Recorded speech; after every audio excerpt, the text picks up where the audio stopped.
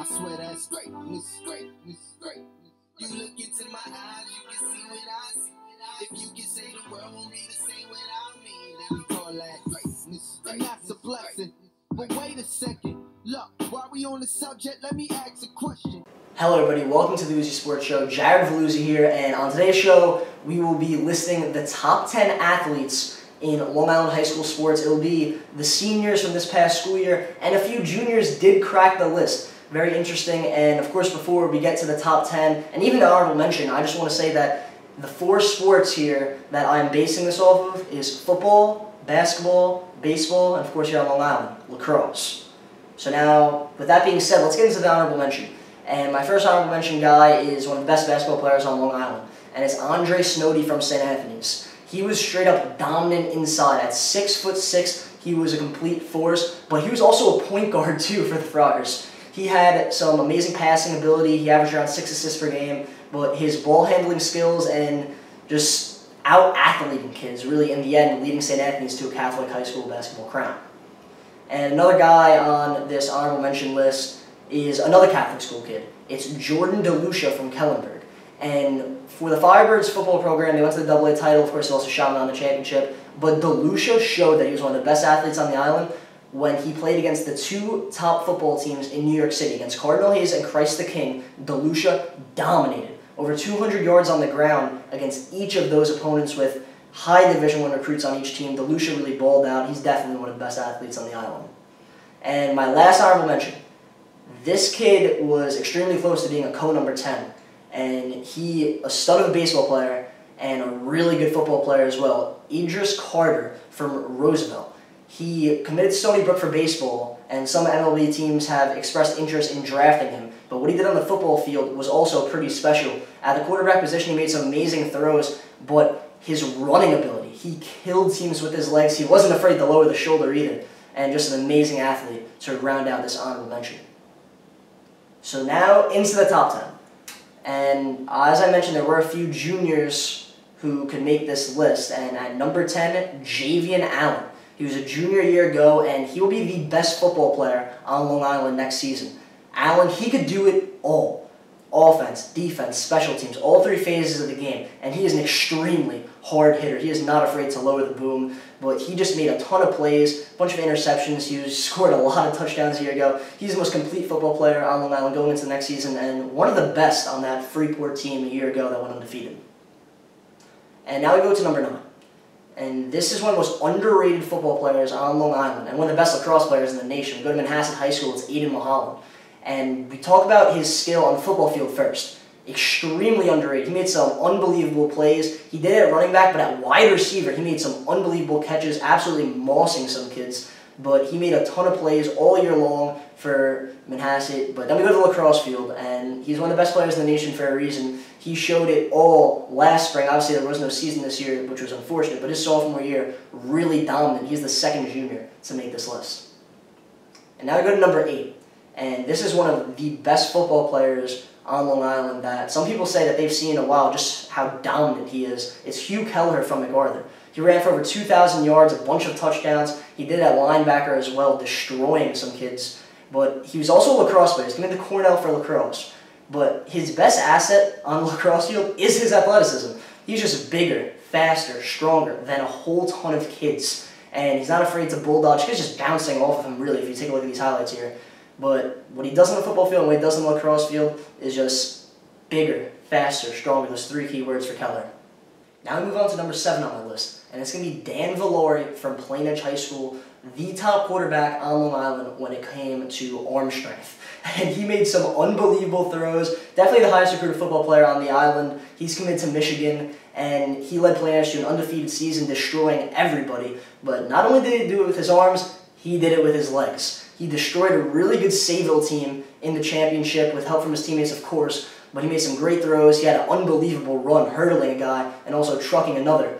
But Dan Villari, one of the best athletes on Long Island for sure, and one of the best quarterbacks I've seen since Jack Coan back in 2016, I believe. Now I go to number six on my list, and it's going to be Brock Murtha from Sayville. And you look what he did on the football field this past fall. Straight up unbelievable. Two way stud. He was probably the best receiver in Suffolk County in some people's eyes. but he was also an animal on defense, a really hard hitter. But football is just one side of Murtha. He is the best baseball player on Long Island. He had an unbelievable championship performance giving Sayville the LIC. He's a great hitter and the consensus top baseball player on Long Island. And he was close to winning the Hansen. If Sayville wins that LIC, he might have won the Hansen Award for being Suffolk County's best football player. Definitely one of the top athletes here on Long Island. At number five on my list, it's the best basketball player on Long Island and one of the best in the country, actually. It's Andre Curbelo from Long Island Lutheran. And if you look what he did this past season on the court against some of the best in the country, Curbelo, he put on a show. He put up some unbelievable numbers, but what he's really known for is his passing ability. Some freaky court vision, dropping dimes left and right. And he had some amazing handles as well. Just one of the best point guards in the country. He's going to do great things over there at Illinois. Definitely one of the top athletes here on Long Island. And we look at number four, it's actually going to be one of Curbelo's teammates because Zed Key was a grown man playing high school basketball. At around six foot nine, I believe, the forward just dominated in the paint. And every game I watched Long Island Lutheran play, Zed Key, it felt like he was the strongest player on the floor, just muscling people left and right. And Key, definitely one of the top players on Long Island. And the Ohio State commit's going to do some unbelievable things at the next level. At number three on my list, it is one of the quickest guys I've ever seen on a high school lacrosse or football field. It's going to be Xavier Arline. And we'll start off with his lacrosse ability. And as you see him making a player fall over the net in that highlight, his shiftiness is just different. And his stick skill is unbelievable. He hit over 70 goals his junior year. Unfortunately, we didn't get to see him play this senior year because of everything that's going on. But Arline, unbelievable on the lacrosse field. He was committed to the UNC originally until everyone realized how good he was at football. Cue the football highlights. Arline, the master at making people miss. I mean, yeah, he played Division Four football just because of how small his school was, but Arline's shiftiness was on a different level. It felt like nobody could touch him his junior or senior year on the football field, and Navy took notice. Arline's to be playing both sports, football and lacrosse, at the next level for Navy. It's something special. And Arline, he runs a 4-4-40, and he knows how to make defenders look really silly on the field. And at number two, it's going to be, some people say, a generational player for the sport of lacrosse. It's going to be Brennan O'Neill out of St. Anthony's High School. And some of the stuff he does on the lacrosse field is just not normal.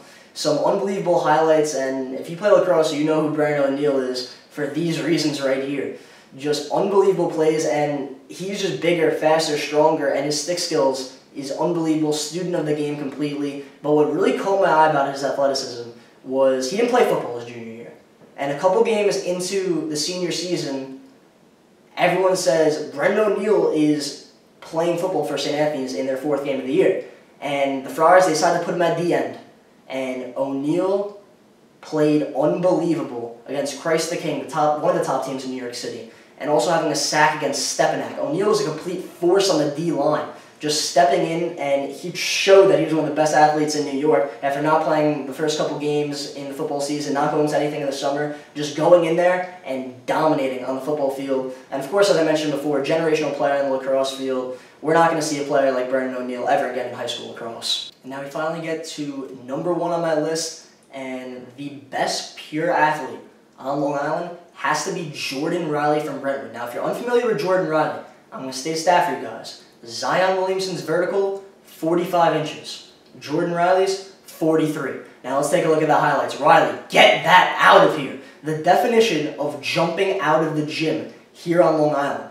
And I refer to him as Mr. Entertainment because every time I watched this kid play, he did something special. I mean, he's the best dunker here on Long Island. He gets really creative with some of them, as you see here. And Riley, he's just a freak of nature, the best athlete. He holds some ACC offers for basketball and he's one of the best athletes in the nation if you really think about it. Jordan Riley takes my number one spot.